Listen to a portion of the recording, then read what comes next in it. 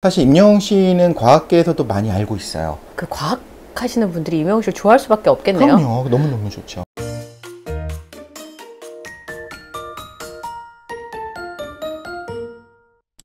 앵커리의 독TV 시청자 여러분 안녕하십니까 앵커리 이현경입니다 이명웅 씨의 콘서트 전국 투어 콘서트 티저 영상 때문에 정말 이야기거리가 풍성합니다 어, 과학 덕후 우주 덕후인 이명웅 씨 면모를 유감없이 발휘한 티저 영상이라고 볼 수 있는데요 근데 거기에 굉장히 많은 실마리들이 숨겨져 있는 것 같아서 오늘 그거를 풀어줄 숨은 그림 찾기를 해줄 제가 동료 한 분을 모셨습니다.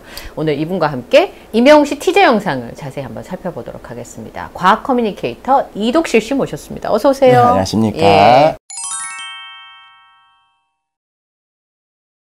앵커리 독TV, 앵커리 독. 독. 아, TV. 앵커리 톡TV 아니고 네. 앵커리 독TV? 네, 오늘부터 오늘까지 함께 하기로 했습니다. 여기 이 자리 탐내는 거예요? 근데 이제 좀 아늑하고 좋은 것 같아요. 예.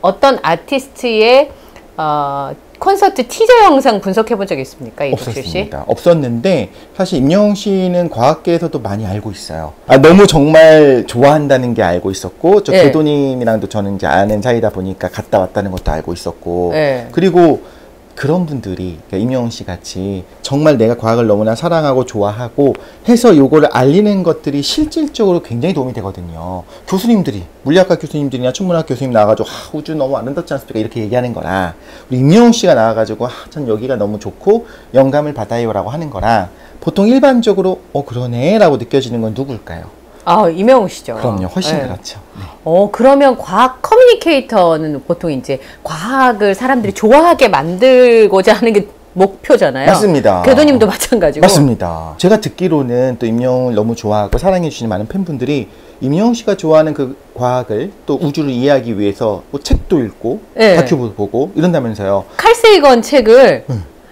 학교 다닐 때는 물리, 우주 다 싫어했는데 네. 이명웅 씨 덕분에 제가 우주 공부를 합니다를 너무 많이 들었어요. 얼마나 너무 귀한 일을 하는 거죠. 어떻게 보면 정말 임영웅 씨는 영웅입니다.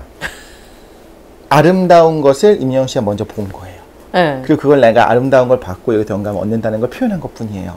근데 그걸 보고서 그 손가락을 보고 달을 다 같이 보는 상황이 된 거잖아요. 어. 얼마나 좋아요. 살면서 우주를 보고 별을 보고 여기서 그 아름다움을 느끼지 못하셨던 분들이 임영웅 씨로 인해서 정말 우리가 사는 세상이 우주가 얼마나 아름다운지 느낄 수 있으면 그것만으로 너무 좋지 않을까요? 아, 그 과학 하시는 분들이 임영웅 씨를 좋아할 수밖에 없겠네요. 그럼요. 너무너무 좋죠. 아, 그러니 갑자기 생각나는데 퀸의 기타리스트인 브라이언 메이가 네. 천체 물리학. 물리학자잖아요. 네, 맞습니다. 그러니까 음악을 하는 사람들이 우주에 관심을 가는 사람이 되게 많은가 봐요. 우주에 대한 게 좀 철학적이어서 그럴까요? 맞습니다. 그 브라이언 메이 얼굴을 봐도 왠지 교수님상 아닙니까? 아, 그 파마머리 그쵸, 네. 아티스트가 어떻게 어디가 교수님상이에요? 그 논문도 굉장히 대단하고 네. 음악도 마찬가지고 음악에 우리가 음계라고 하는 것들 다 결국에는 간섭을 일으키는 것들이잖아요. 그래서 보강 간섭과 상쇄 간섭과 그러면서 이제 기타 줄이 흔들리는 거, 네. 그 옥타브가 올라갈 때마다 파장이 어떻게 다 물리 현상이거든요.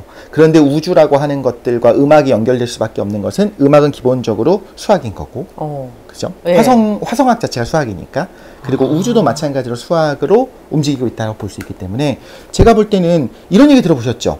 블랙홀의 소리라든가 은하의 소리라든가 이런 것들은 실제로 소리가 아니지만 그 나는 전파를 소리 파형으로 바꿔도 들려줄 수가 있어요. 때로는 섬뜩하게 느껴질 수도 있고 때로는 신비하게 느껴질 수도 있어요. 그게 뭐냐면 음악과 우주는 사실은 연관이 있다.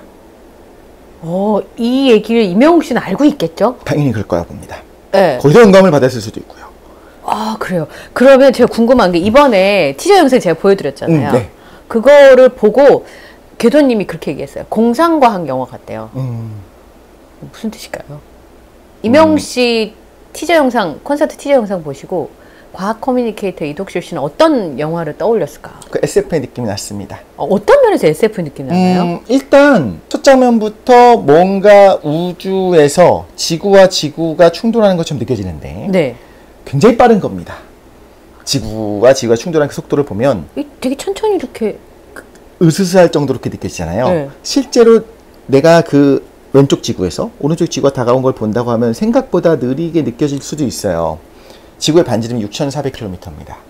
근데 가- 오는 속도를 생각해보면 계산할 수가 있잖아요. 예. 몇 초 만에 한 2,000km 이상을 오는 거예요. 네. 그리고 그것에 부딪힐 때 어느 정도 에너지인지 계산을 해보게 된다면 지구는 파괴되겠죠. 아, 그게 부딪히면 파괴되는 당연하죠. 네. 사실 달이 발생, 달이 만들어진 것도 마찬가지입니다. 커다란 운석이 지구와 부딪히면서 일부가 떨어져 나가서 달이 됐다라고 이야기를 하거든요. 첫 장면에서 부딪히는 거는 진짜 그 물리학에서 말하는 충격을 말하는 건 아닐 수도 있어요. 무언가 두 개가 부딪히는 가운데 또 팍 하고 밝아지면서 네. 임영웅 씨가 나타나죠. 네. 그죠? 네. 그런 충격이다. 아, 그 정도로 큰 충격이다. 충격으로 여러분들을 초대합니다. 이런 느낌이 아닐까. 아, 나는 우주적인 스케일로 하겠다. 아, 우주적인 스케일로 하겠다? 네. 오. 그 다음에, 그러니까 거기서 이제 뭐 오프닝이라고 한다면 네. 그 다음부터 되게 흥미로웠었던 게 사람들이 계속 위를 쳐다보고 있잖아요. 네. 그런데 그 삼각형 모양의 네. 우주선들이 있어요. 여기저기 네. 떠 있어요. 근데 그게 한 군데 있는 것이 아니고 여러 군데 있어요. 장면이 바뀌잖아요. 네, 맞아요. 그걸 보고 느꼈던 거는 어, 여러 개가 왔구나. 여러 우주선이 왔구나. 아, 저는 한 우주선을 여러 군데서 목격했다. 이렇게 해석했는데, 처음에 그런 줄 알았는데 네. 보니까 아닌 것 같아요. 왜냐면 가운, 가만히 있고 사람들이 가만히 그걸 멍하니 쳐다보고 있어요. 어, 네. 그래서 아마도 여럿이 도착한 것 같습니다. 아, 그 여러 군데에서 한다는 뜻일까요? 투어 콘서트니까 어쨌든 한 군데서 하지 않을 테니까 그렇죠. 여러 군데서 한다는 의미일 수도 있겠네요. 맞습니다. 아, 아 그러네요. 거기까지 생각하지 못했습니다. 네. 아, 하나가 여기 갔다가 저기 갔다 하고 있는데 네. 그때 그 장면 장면을 보여준 걸 수도 있다. 네. 그렇죠. 그걸 바라보는 장면들을 나왔을 때 어, 제가 느꼈던 영화가 하나가 있었습니다. 뭔데요? 컨택트라고 하는 영화가 있습니다. 원래 원제는 Arrival입니다. 도착. 어, 도착. 예. 그래서 보면 어, 어, 오렌지를 까서 예. 하나씩 깔 수 있잖아요. 하나. 아, 이렇게 약간 반달 모양으로. 네, 맞습니다. 예. 어, 그 모양의 우주선들이 여기저기 도착해서 그대로 그냥 떠 있는 모습들이 있어요. 아, 그 영화에도 그런 장면이 네, 그 나와요? 장면이 나옵니다. 그러면 그건 한, 한 개가 아니라 여러의. 우주선이 네. 온 거예요? 예. 굉장히 괴기스럽게도 느껴지고, 그러니까 뭔가 우리가 익숙한 장면인데 익숙하지 않은 무언가가 있을 때 우리가 두려움을 느낀다던가 묘한 느낌을 받거든요. 음. 딱 그게 있었어요. 어. 그런 장면들이 있었는데 임현 씨가 이번에 만든 그 예. 티저 영상에서도 마찬가지로 그냥 익숙한 지구의 풍경인데 거기에 우주선이 도착해 있고 그리고 사람들이 그걸 보고 있는데 지금 뭘 보고 이게 아니고 그냥 이러고 보고 있어. 뭔가 홀린 것처럼. 어, 맞아요. 그죠? 예.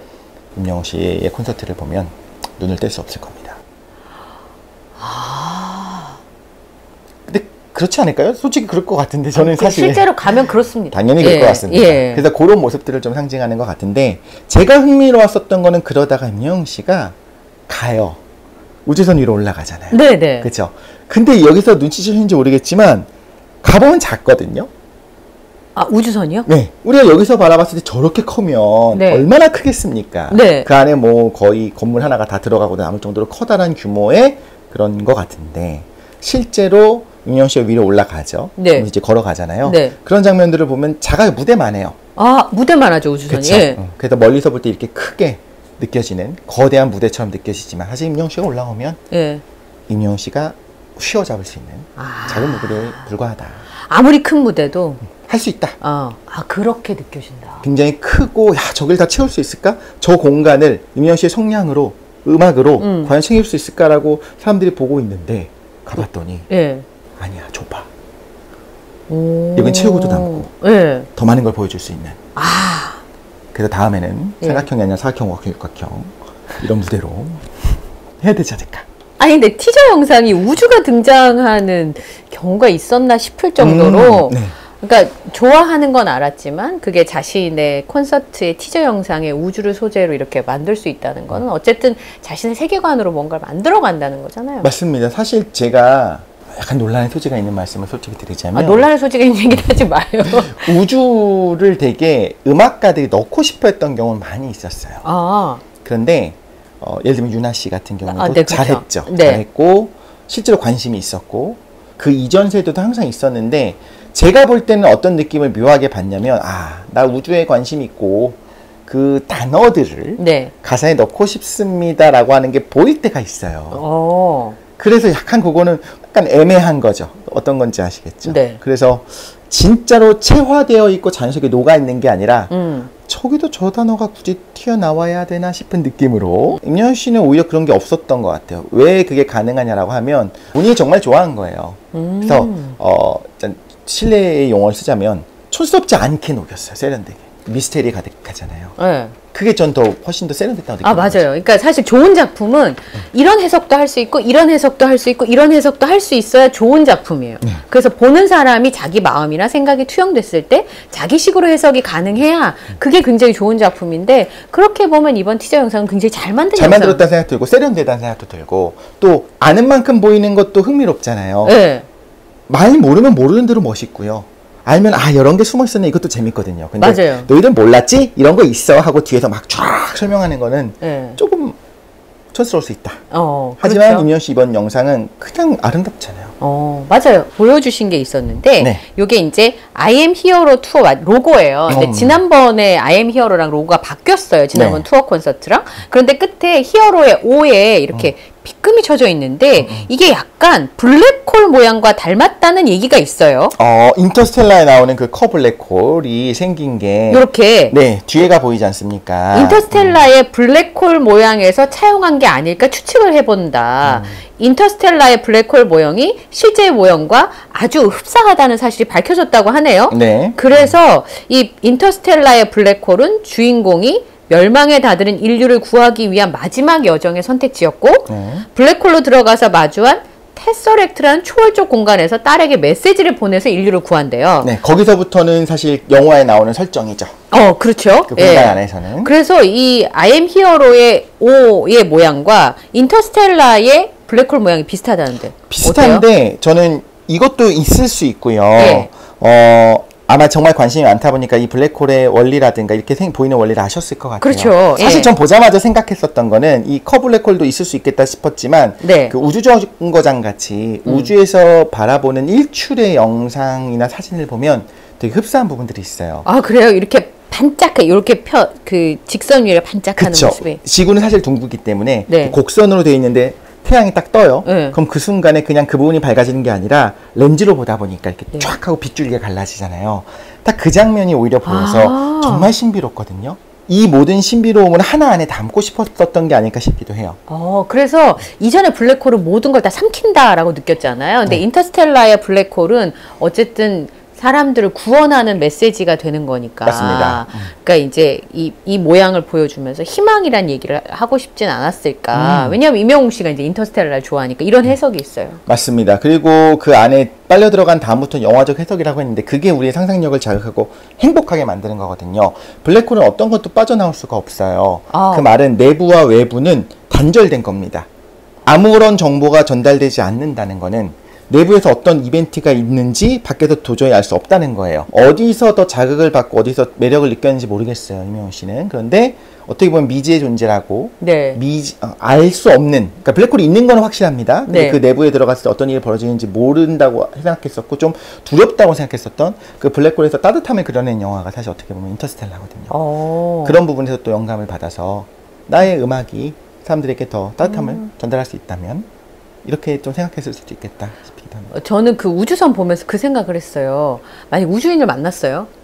그럼 언어가 다를 거 아니에요. 음, 언어가 네. 있는지 없는지도 모르겠지만. 예, 네. 언어가 다를 거잖아요. 그러면 어떻게 만약에 우주인이 있는지 없는지 잘 모르겠지만 우주를 만나면 음.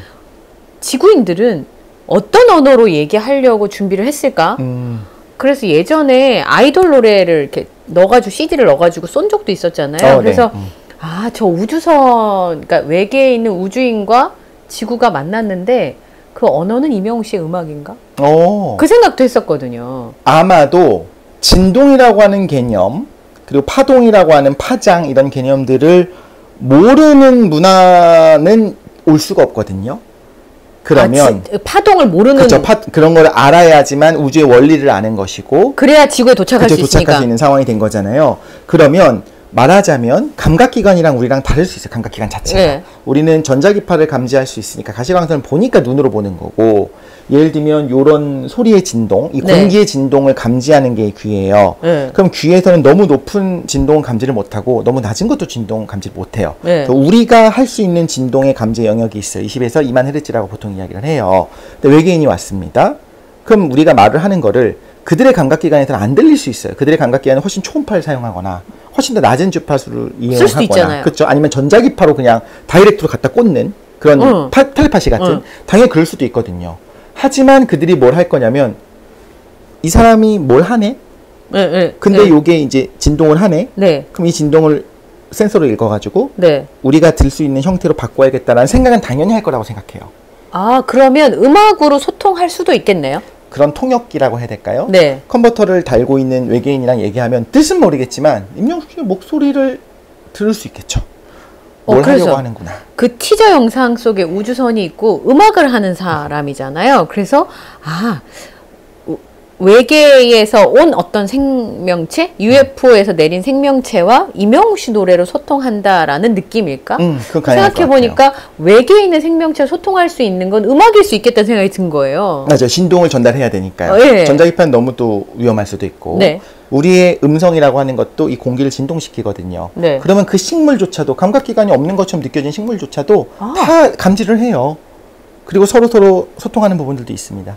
식물이랑도 대화할 수 있는 것이 사람인데 네. 임영훈 씨가 노래를 부르면 식물들이 더 잘 자랄 수 있지 않겠습니까? 어, 그 끝으로 하나만 여쭤보면 이 끝과 그러니까 티저 영상의 앞과 뒤가 수미상이 되게 의미가 있는 것 같은 게 네. 아까 말씀하신 것처럼 아 그게 평행 우주다 이렇게 얘기하신 분이 있었어요. 우주와 지구가 똑같이 생긴 어떤 우주가 있어서 거기에서 이명우 씨가 왔다. 아, 네, 두 개의 지구가 나오잖아요. 하나는 초록색이고 하나는 하늘색의 지구가 나오는데 근데 이 이독실 씨 얘기를 들어보니까 지구와 지구가 충돌해서 지구와 달이 생겼다. 음. 앞부분은 그렇게 해석할 수도 있겠더라고요. 아, 지가 지가 충돌하면 사실 달이 생겨나는 걸 넘어서게 그냥 모든 게 사라지기 때문에 아. 그렇지는 않겠지만 평행 우주는 되게 이걸 이 이야기를 네. 되게 재미있게 풀어내면 이런 영상도 나올 수는 있을 것 같은데 엄밀하게 말하자면 평행 우주는 서로 영향을 줄 수가 없어요. 아 그럼 따로 따로. 그렇죠. 이 우주가 여기 와서 이렇게 만난다는 건 불가능하고 또 뭐 인터스텔라처럼 약간 그런 소설적인 네. 어떤 그런 내용을 넣으면 가능할 수는 있겠죠. 저 네. 마지막 장면은 앞에는 그냥 오픈이라고 생각을 했어요. 저는. 네. 뒷장면에서는 분명히 지구 이렇게 앞에서부터 쭉 줌아웃이 되잖아요. 네, 위로 이렇게 올라가잖아요. 네. 쭉 멀리 가다가 이제 하나가 쓱 나타나고 끝나요. 네. 이게 뭔지 정확히 잘 모르게 하고 끝나요. 달로 느껴지기는 하는데 네. 아닐 수도 있고 쓱 지나가면서 일부 다 안 보여준 거예요. 아. 하나 얘기를 하자면 우리 임영웅 씨는 다음 콘서트는 달에서 준비하고 있습니다. 그러면 그거를 space tour라고 불러야 돼요. 그래야겠죠. 지구를 다 돌면 world tour잖아요. 네. 그러면 달에서 하면 space tour예요. 어, 그럴 수도 있겠네요. orbit tour라고 해도 되고. orbit tour, 어, 궤도 투어인데요. 어, 그, 아, 그래도 저도 괜찮습니다. 궤도님한테 전해주세요. 궤도 투어로. 자, 오늘 제가 그냥 상상력을 발휘해 본 거예요. 임영웅 씨의 콘서트 투어 그 티저 영상을 보고 과학자들은 그걸 어떻게 읽게 될까? 그리고 어떤 감정을 읽기가 궁금해서 제가 이독실 씨와 함께 여러 가지 이야기를 상상을 좀 해봤습니다. 여러분께도 좀 좋은 insight가 됐으면 좋겠고요. 사실 방송하다 여기 끌려와서 제가 전화 한 통으로 예, 티저 영상 분석을 태어나서 처음 해본 이독실 씨와 이야기를 나눴습니다. 임영웅 씨가 어, 만든 티저 영상이라고 하면 매번 네. 다음번에 뭐 샤랄라한 어. 어, 느낌의 영상이 나오더라도 얼마든지 과학적인 분석은 가능합니다. 그거 주로 궤도님의 노선이잖아요. 아, 그런가? 근데 어, 언제나 가능은 해요. 뭐 벨레포크 시대, 예. 혹은 뭐 그 이전에 무슨 조선 시대 라고 하더라도 그 안에 과학은 있기 마련이거든요. 어, 왜냐하면 이번에 이제 끝나고 나면 분석이 가능할 것 같은 게 우주 비행사가 우주를 비행하는 느낌으로 곡을 쓰고 있어요. 이명웅 씨가. 네. 궤도님하고 상의를 하고 있대요. 궤도님한테 좀 물어보세요. 무슨 오. 내용인지. 근데 그 내용이 나오면 과학자들이 보기에 그 가사 내용을 어떻게 이해할 수 있을지 또 그런 것들이 남성 팬들한테 어필이 되게 많이 되잖아요. 그럼요. 그리고 한 번쯤 경험하고 싶은 곳 중에 하나가 그런 우주 여행, 네. 혹은 아마 우주 비행사라고 얘기하니까 무중력 상황을 얘기할 것 같아요. 네. 그래서 정말 어떤 정도의 취미가 있는지 모르겠지만 비행기가 예. 높이 올라가서 이렇게 쑥 하고 떨어집니다. 어. 자이로 드롭 타듯이. 네. 그럼 내부에 있는 사람은 한 몇십 초 정도 무중력 상태인 것처럼 느껴져요. 네. 왜냐하면 비행기랑 똑같이 자유낙하 상황이 되는 거예요. 그러면 영상들을 찾아보면 갑자기 등실 떠요. 네. 오금이 저리겠죠. 네. 근데 그게 이제 안전한 비행기 내부에서 경험을 해요. 우주를 바라보며 할 수 있는 건 아니지만 그 제한된 좀 커다란 비행기 동체 내부에서 정말 몸이 둥실 떠오르는 그 경험들. 저 임영웅 씨더 많이 만났으면 좋겠어요. 이거 왜냐면 그걸 보면서 저도 와 저거 경험했네 저런 느낌이었네 아, 그럼 우리도 또 오셔야 간접 돼. 경험인 거잖아요. 네. 그래서 그런 것들을 굳이 뮤직비디오가 아니어도 좋으니까 그냥 방송을 만들든 아니면 그런데 올리든 브이로그 같이 올려주셔서 저 오. 드디어 왔습니다 여러분 이런 거 하러 왔어요. 그리고 뮤직비디오에선 절제돼야 되잖아요. 네. 그 흥분된 그 순간 정말 무중력 상태를 경험했었던 어머. 그 순간을 보고 싶잖아요. 네. 그런 거 많이 방송을 해주셨으면 좋겠다. 싶기도 어, 하네요. 어, 재밌는 아이디어인데요. 네, 알겠습니다. 과학 커뮤니케이터는 궤도만 있는 것이 아닙니다. 이독실도 있습니다. 교장님이랑 또 친하니까. 아, 교장님 너무 잘하시니까요. 아, 네. 그러면 이명웅 씨 우주비행사를 소재로 한 신곡이 나오면 해석을 한번 들어볼까요? 어, 그때 꼭 다시 한번 불러주시면 네. 또 행복한 시간 네. 가질 수 있을 것 같습니다. 네, 오늘 먼 길 와주셔서 고맙습니다. 네.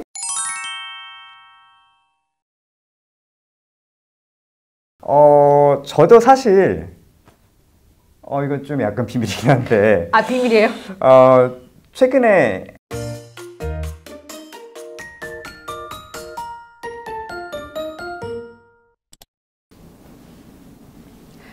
앵커의 똑TV 시청자 여러분 안녕하십니까? 앵커리 이현경입니다. 어, 팬분들께서 이명웅 씨 노래가 어떤 평가를 받고 있는지를 참 궁금해 하세요. 그래서 전문가들의 의견들을 굉장히 많이들 찾아보시는데 오늘 그런 분들을 위해서 준비했습니다.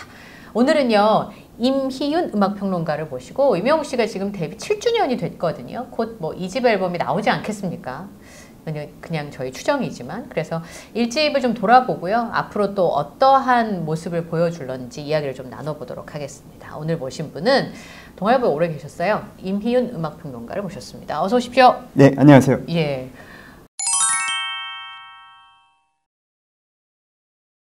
음악 평론가라고 불리는 거 어색하지 않으세요? 되게 어색합니다. 되게 어색한데 또 한편으로 약간 좋기도 하고. 어, 네. 그렇죠 음악 전문 기자로 동아일보에서 오래 계셨잖아요 칼럼도 오래 쓰시고 맞아요. 거의 10년, 11년 정도 동아일보 문화부에서 주로 대중음악 담당하면서 있었고요. 네 그 전에도 헤럴드 경제라는 경제신문사에서 뭐 다른 부서에도 있었지만 문화부에 제일 오래 있었습니다. 어, 그러니까 이제 대중음악에 대해서 전문적으로 이제 기사를 쓰시던 기자님이고 지금은 이제 음악 평론가로 자유로운 모습을 네. 살고 계십니다. 네. 오늘 저희가 이명웅 씨와 관련된 이야기를 좀 나눠보려고 하거든요. 아티스트 이명웅이라는 사람의 음악 세계에 대한 이야기를 좀 여쭤보려고 하는데 우선은 가수로서 이명웅 씨 얘기를 해보자면 네. 이미훈 평론가 보시기에 어떠십니까? 잘합니다. 저도 뭐 잘한다는 거는 너무 분명한 것 같고요. 예. 잘 하기 때문에 인기가 있는 것 같아요. 요즘에는 잘하지 못하면 인기가 있을 수 없는 것 같아요. 그렇죠. 네, 그리고 그렇다면 과연 잘하는 사람은 여러 명이 있고 잘하는 것에도 여러 가지 결이 있는데 임명웅 가수의 잘함은 무엇인가? 네. 이런 것 상당히 일반적인 대중들에게 폭넓게 소구할 수 있는 그런 음색, 창법 이런 것들을 좀 가지고 있다. 그리고 여러 가지 장르의 노래들을, 노래들을 좀 능수능란하게 다뤄서 그것을 그냥 뭐 음표대로 불러내는 게 아니고 그 감정선을 아주 잘 표현을 해낸다. 표현력이 아주 섬세하다. 이렇게 저는 보고 있습니다. 예. 그러니까 우리가 노래 듣다가 보면 어, 굉장히 감동적이다라고 느끼는데 네. 표현하는 결을 보면 굉장히 다양하게 그거를 보여준다는 거죠 표현력이 네, 감정을. 맞아요. 그리고 이제 감정을 직접적으로 과잉 표출하는 게 아니고 간접적으로 어, 확대해서 표출을 하는 그런 방식인 것 같아요. 그러니까 어, 쉽게 얘기하면 좀 예쁘게 부르는 스타일인데 예. 그렇게 예쁘게 부르는 안에서 강약 조절, 완급 조절 이런 것들을 굉장히 잘하기 때문에 어, 듣는데 부담이 없으면서도 감정적으로는 증폭된 어떤 노래를 듣는다. 그런 것을 들려준다. 음. 이렇게 볼 수 있을 것 같습니다. 그게 뜨거운 얼음 같은 말인 것 같은데요. 그렇죠. 어, 과장이 없는데 과장이 없는데 감정을 확 몰입할 수 있게 해준다는 게 그게 뜨거운 얼음과 다를 바 없는 얘기잖아요. 어, 그러니까 아무나 갖지 못하는 거죠, 사실은. 그런 능력은. 어. 네. 근데 오디션 출신의 가수들은 주로 이렇게 막 지르는 창법을 하면 우리나라에서 노래 잘한다. 맞아요. 네, 그런 평가를 받잖아요. 맞아요. 근데 임영웅 씨는 그런 창법을 구, 노- 뭐 이렇게 잘 지를 수는 있지만 그런 거를 구사하는 느낌은 아닌 것 같아요. 그렇죠. 보통 이제 오디션 창법 말씀 잘 해주셨는데, 뭐 3옥타브 라를 찍었네, 뭐 4옥타브 도샵을 찍었네, 뭐 이제 이런 얘기들이 있거든요. 그런 것들이 언젠가부터는 노래 잘하는 거에 척도가 되어, 되어버렸어요. 그쵸. 네. 근데 요즘에는 사실 대중들이 굉장히 똑똑하고 옛날 대중들보다 더 섬세합니다. 왜냐하면 지금은 스트리밍의 시대거든요. 예전에는 우리가 음악을 듣기 위해서는 20세기만 해도 CD를 사서 듣는다거나 카세트 테이프 사서 듣거나 라디오에 나오는 음, 음악들, TV에서 들려주는 음악들만 들을 수밖에 없었어요. 그런데 지금은 자기가 듣고 싶은 음악, 심지어 자기가 듣고 좋아하는데 그것과 비슷한 음악을 추천까지 해줍니다. 예. 근데 예, 이런 전 세계의 수억 개의 음악을 거의 공짜로 무제한 내가 원할 때 버튼만 누르면 수돗물 마시듯이 계속 들을 수 있어요. 그렇기 때문에 요즘 대중들의 그런 눈높이가 부지불식간에 굉장히 높을 수밖에 없고요. 어, 그런 면에서 보면은 또는 어떤 오디션 프로 출신 특유의 어떤 억지스러운 감정 고조라든가 이런 것들은 이제 재미가 없는 거죠. 그렇게 어, 많은 콘텐츠에 노출이 되어 있는 지금의 대중에게는 조금 더 섬세하고 뭔가 기존 장르의 문법을 조금 구부리고 이런 것들이 더 매력적으로 어, 다가올 수밖에 없어요. 본인들이 뭐 그걸 의식적으로 듣, 듣느냐 아니냐라는 문제를 떠나서요. 예. 네. 그러니까 귀가 굉장히 섬세해지고 네, 스트리밍은 반복해서 들을 수 있으니까. 그런 것도 있죠. 예. 그러니까 디테일하게 다 음악을 알든 모르든 귀는 뭔가를 느끼잖아요. 그러니까 그런 네. 부분들에 있어서 아까 말씀하신 것처럼 지금 임영웅 씨의 보컬 스타일이 약간 요즘 스타일이다. 그렇죠. 그리고 네. 뭐 많이들 보셨겠지만은 다양한 장르를 아주 잘 소화하잖아요. 뭐. 사랑의 콜센터나 뭐 뽕숭아학당 같은 데서 이제 커버한 곡들을 보면 스펙트럼이 너무 넓어서 사실 놀라울 정도예요. 그러니까 뭐 MC 스나이퍼의 BK Love 같은 거, 그 아, 그니까. 랩도 굉장히 잘 소화를 하고 심지어 뭐 샘 스미스의 I'm Not The Only One 같은 거 정말 잘 부르거든요. 샘 스미스만큼 잘 부르거든요. 그러니까 그런 것들이 그러니까 아무리 요즘에 뭐 한 옛날에는 뭐 난 발라드 좋아해, 나는 뭐 댄스 좋아해, 나는 트로트 좋아해 이런 분들도 지금은 오며 가며 넘겨가면서 여러 가지를 드, 들으시는 시대이거든요. 그리고 뭐 마찬가지로 콘텐츠를 소비하는 데 있어서 특히나 멀티태스킹이라는 개념이 중요한 것 같아요. 요즘은 뭐 누구나 스마트폰을 갖고 있고 뭐 카톡 보내다가 또 뭐 스트리밍 듣다가 또 뭘 앱으로 게임하다가 뭐 이런 시대잖아요. 그러니까 어떤 한 가지의 자극, 한 종류의 즐거움 가지고는 잘 그 만족을 못 하거든요. 그런 면에서 임영웅 씨가 다양한 장르를 잘 소화하고 한 어, 노래 안에서도 자기만의 스타일로 그리고 대중들이 아주 좋아하는 부드러운 스타일로 표현을 해내는 게 굉장히 중요한 지점인 것 같아요. 어, 그 사랑의 콜센터를 보면 전화해서 신청을 받아서 저렇게 즉시 즉시 저렇게 잘 부를 수 있나 싶거든요. 그렇죠. 그러니까 그게 어떻게 보면은 그 의외성이기도 한 거죠. 의외성? 네. 네. 전혀 아닌 장르도 척척 소화해내니까 그 기본적으로 기교가 뛰어나고 기본, 기본적으로 감정을 잘 갖고 노는 그런 가수들이기 때문에 예. 어, 어떻게 보면 상당한 수준의 기회 수준의 가창력이 기본으로 아. 어, 깔려 있어야 되는 거기 때문에 그 이후에 아까 말씀하신 것처럼 그런 장이 열렸을 때 다양한 장르를 정말 잘 소화하는 모습을 보여줬고 그래서 일집 앨범 넘어가기가 좀 더 수월하지 않았나 싶기도 하고요. 맞습니다. 그러니까 그 어, 오랜 기간 동안 그 가창력 하나만 보고 수련해온 그게 있기 때문에 사실 노래로 치면은 뭐 무적이죠. 어, 네. 그렇죠. 근데 이명웅 씨를 좋아하시는 분들이 공통적으로 하시는 얘기가 뭐냐면 이명웅 씨가 미담이 되게 많아요. 네. 아, 그 30대 초반의 청년이 저런 행동을 저렇게 할 수 있을까 싶을 정도로 네. 어, 그런 부분들 때문에 더 좋아한다고 하시더라고요. 어떤 아티스트를 좋아하는 마음에 그 사람의 인성이나 외부적인 요인들이 영향을 많이 줄 수 있나요? 네, 굉장히 많이 주죠. 어, 1960년대, 70년대, 80년대 많은 락스타들 어, 같은 경우에 오히려 그랬죠. 왜냐면 나 대신 막 살아주니까. 그런데 심지어 아. 너무 멋있기까지 하고. 오. 이런 것들이 어떤 일타를 대신해주는 쾌감 같은 걸 느끼게 해줬거든요.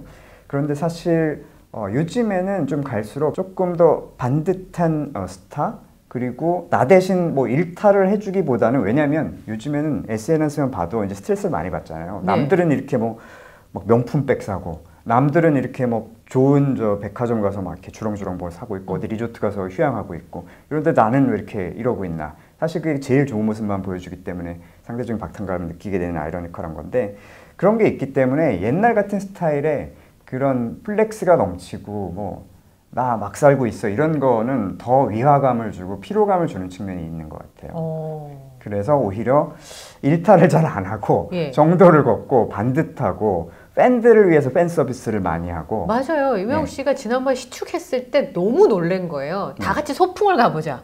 네 그냥 그 아이디어에서 시작해서 어디가 좋을까? 다 같이 모일 수 있는 자리가 어딜까? 그래서 애플서울 축구장, 어, 상암 월드컵 경기장에서 네. 다 같이 모여서 축구를 좋아하지 않지만 이명웅 씨를 좋아하는 사람들, 네. 또 축구를 좋아하고 이명웅 씨를 좋아하는 사람들 네. 다 같이 모여서 축구를 봤어요. 어.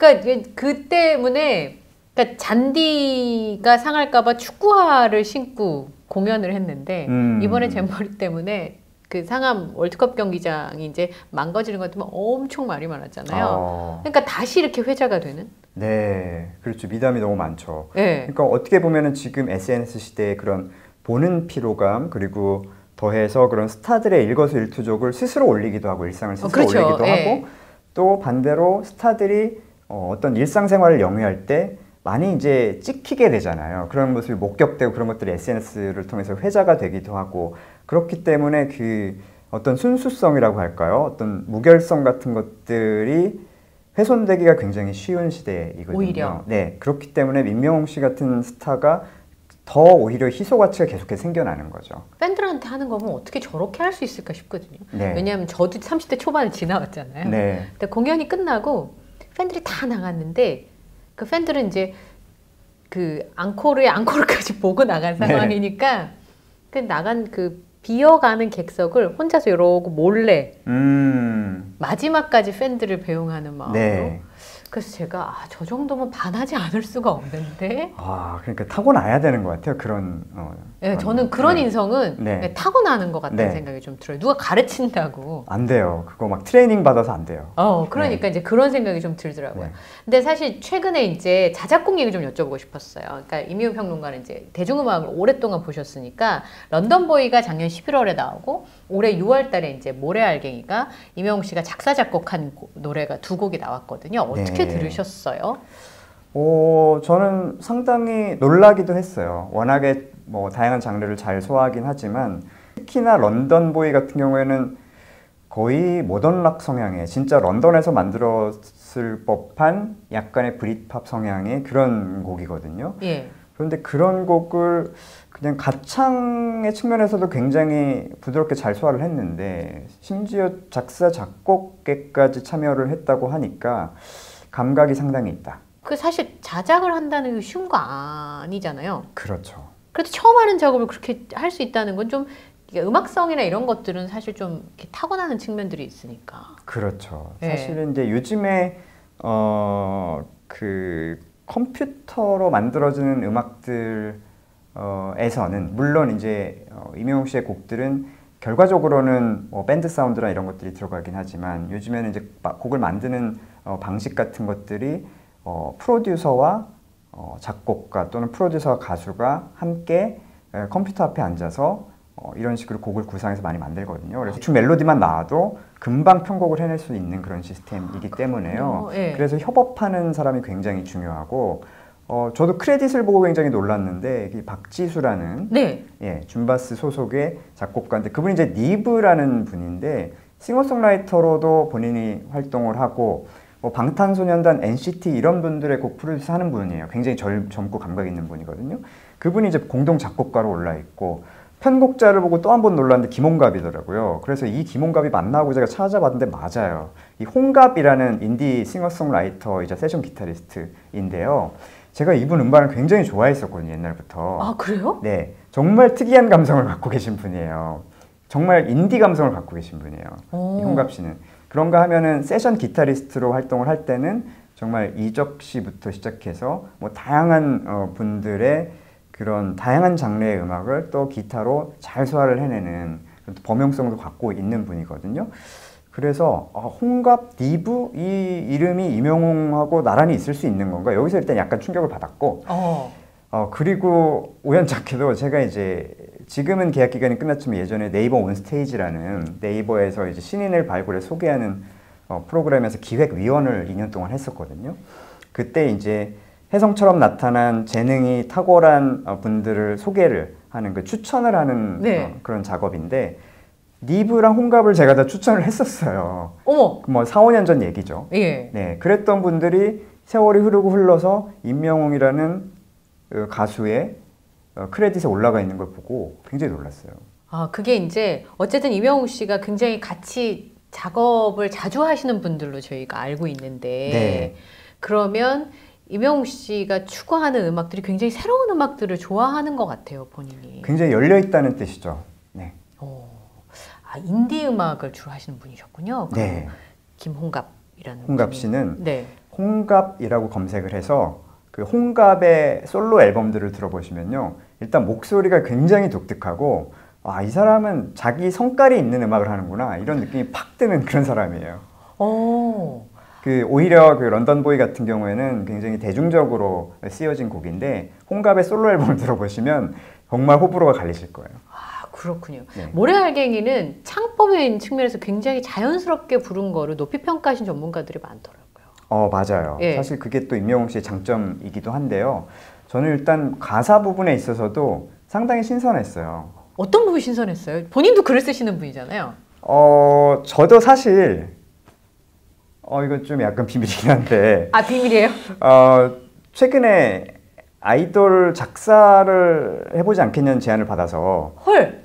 제가 작사에 아직까지는 도전을 해보는 단계인데 아직까지 뭐 어디 곡에 들어간 건 없어요. 근데 전에는 사실 작사에 대해서 물론 좋은 노랫말에 대해서는 저도 굉장히 감탄을 하고 했습니다만은 그렇게 크게 생각하지 않았거든요. 막상 제가 해보니까 정말 어렵더라고요. 그 표현 하나 한 줄 한 줄을 어 대중들이 알아듣기 쉽게 하면서도 엣지 있게 뽑아낸다는 것 자체가 굉장히 힘든 작업이었어요. 그냥 글을 쓰는 것과는 또 다른 작업이더라고요. 그래서 어떤 가사 한 줄에 쓰인 의미와 그걸 표현하는 방식, 그러니까 비유의 방식이라든지 은유이든 그것이 직유이든 간에 그런 것들에 이제 좀 집중을 하게 되고 막 어마어마한 아이디어가 있어야 예전에는 제가 감탄을 하고 놀라고 그랬었는데 별거 아닌 아이디어도 아 이거를 조금 이렇게 10도 정도 틀어서 이런 식으로 잘 표현을 해냈구나라는 거를 좀 어, 제가 인정을 하게 됐어요. 근데 모래알갱이 같은 경우에도 마찬가지인 것 같아요. 그러니까 모래 알갱이를 밟고 지나가는데 너무 깊게 밟지 말고 음. 살짝만 자국 내고 지나가. 네. 뭐 이런 부분들이 저는 상당히 신선하게 다가왔어요. 그러니까 쉬운 언어인데 맞아요. 마음을 편안하고 무슨 말을 하는지 잘 알겠는. 그렇죠. 그리고 모래 모래 알갱이라는 키워드 자체가 이게 사실 어, 가창을 할때 어, 잘 표현이 되는 단어들이 있죠. 그 음운적으로, 네. 그 음성학적으로 그런 단어들이 있죠. 근데 모래 알갱이는 그런 게 표현이 굉장히 잘 되는 어, 단어예요. 아 리을 이응. 그렇죠. 굉장히 부드러움, 미음, 리을, 이응, 리을 이런 것들이 분포가 되어 있고 받침 하나 있는데 뭐 리을밖에 없고 뭐 그런 어 그러면서도 어떤 느낌을 줄 수 있는 그런 키워드이기 때문에요. 저는 이런 부분도 만약에 임영웅 씨가 굉장히 고심 끝에 골랐을 거라고 저는 생각을 하는데 굉장히 센스가 있다 이렇게 봤어요. 아 그게 그렇죠 발음을 해야 되니까 게다가 이제 저희 같은 경우는 그냥 평조에다가 말을 하는 거니까 네. 발음을 연습하면 되지만 노래는 멜로디에 얹어야 되니까 맞아요. 그걸 이제 높이 올라가는 단어에서 발음이 막 트츠 흐프흐 이러면 진짜 부르기 정말 어렵게 되잖아요. 그렇죠. 그러니까 그거를 다 생각해서 써야지 작사가 되는 거네요. 맞아요. 어렵네요. 그저 아나운서분 중에서 네. 작사를 해가지고 대박 나신 분이 있어서 어. 아 저런 것도 할 수 있는 거구나라고 생각했는데 그게 아무나 할 수 있는 게 절대 아니고 아, 네. 오늘 네. 평론가님 얘기를 들어보니까 저도 최근에 깨닫고 있습니다. 이게 굉장히 어려운 거구나. 네. 평론가님이 들어보신 이명웅 씨가 부른 곡이든 이명웅 씨 노래든 좀 마음에 드시는 곡이 있었을까요? 워낙에 뭐 좋은 곡이 많아서 네. 어, 다양한 색깔이 있고 그래서 꼽기가 참 힘들긴 한데 만약에 하나 꼽으라고 하면은 좀 되게 특이하고 뜻밖이면서도 인상에 깊게 남았던 곡이 있어요. 뭘까요? 아비앙또라는 곡. 아비앙또라는 곡. 와, 약간 충격받았습니다. 어 왜요? 아, 일단 장르 자체가 레게 리듬에다가 요- 정말 요즘 스타일의 멜로디 랩, singing rap을 얹었는데 그 너무 찰떡같이 잘 불러내셨더라고요. 비슷한가 봐요, 그죠? À bientôt를 이제 네. 8학년, 9학년 영웅시대 팬분들이 음. 다 해요. 어, 다 따라 부르실 수 있어요. 와, 그래서 제가 그걸 보고 아 좋아하면 불가능은 없다. 저도 그거를 버스 정에서 연습을 하는데 아 못 부르겠는 거예요. 속도를 못 따라가고 어. 리듬을 리듬을 타면서 부르는 게 굉장히 어렵더군요. 그게. 어렵죠, 어렵죠. 굉장히 근데 어렵죠. 그거를 아, 이명욱 씨가 부른 것도 사실 장르적으로도 일집 앨범을 봤을 때 좀 놀랐어요. 맞아요. 그러니까 일집 앨범 12곡이 굉장히 선별된 느낌을 준다 그러더라고요. 음. 전문가분들이 얘기 들어보니까 네, 맞아요. 트롯도 있지만 발라드도 있고 아까 말씀하신 레게 힙합도 있고 그래서 이게 그렇게 조합하기가 굉장히 어렵다고 얘기는 하더라고요. 제가 보니까. 맞아요. 저도 일집 앨범 듣고서는 그 다채로움에 일단 놀랐습니다. 다채로움에 놀랐고 장르의 다채로움에 놀랐고 그 다채로운 장르의 소화력에 놀랐습니다. 어. 특히나 À bientôt 같은 곡을 이런 곡까지도 물론 그 BK Love를 예. 커버를 할 때도 와 이런 것도 소화를 하네라는 생각을 했지만 À bientôt 같은 경우는 정말 최근의 트렌드를 담은 곡이고 미국의 힙합 특히 2010년대 이후에 이제 발달한 emo rap, mumble rap이라고 하는 장르 어, 그런 것들을 담았고 어, 거기에 이제 Auto-Tune 효과를 이용한 아주 맛깔스러운 부분들 그리고 리듬을 조금씩 미세하게 밀고 당기는 그런 부분들이 있어요. 그런 부분들을 그냥 정말 그 래퍼처럼 잘 소화를 했더라고요. 어, 근데 랩도 잘하고 노래도 잘하고 트로트 잘하고 그러기가 되게 어려울 것 같아요. 하나만 잘하기도 어렵죠, 사실은. 아, 그쵸. 네. 맞아요.